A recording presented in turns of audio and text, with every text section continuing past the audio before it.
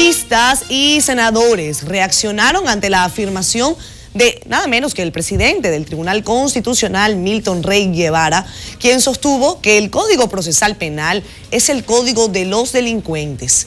Catherine Sánchez está en directo con nosotros, nos tiene más detalles. Catherine, buenas noches. Gracias, buenas noches. Tras estos pronunciamientos del presidente del Tribunal Constitucional, juristas consultados sostienen que no hace falta una modificación a dicho código, sino una verdadera coordinación entre los actores del sistema judicial del país. Milton Ray Guevara abogó por una nueva legislación que contribuya a reducir los actos delictivos y la violencia. Enfatiza que el problema de la delincuencia no se resuelve con una sola medida. Desde hace tiempo, pero mucho tiempo, yo no pensaba en, participar en la vida judicial. Señalé que la legislación, el Código Procesal Penal, era el Código de la Delincuencia. Está escrito, no estoy diciendo nada nuevo. Sin embargo, para el vicepresidente de la Fundación Institucionalidad y Justicia son los actores del sistema judicial quienes violan los procesos. Entonces yo creo que si lo que quieren es volver a modificar el código, ojalá lo modifiquen 60 veces.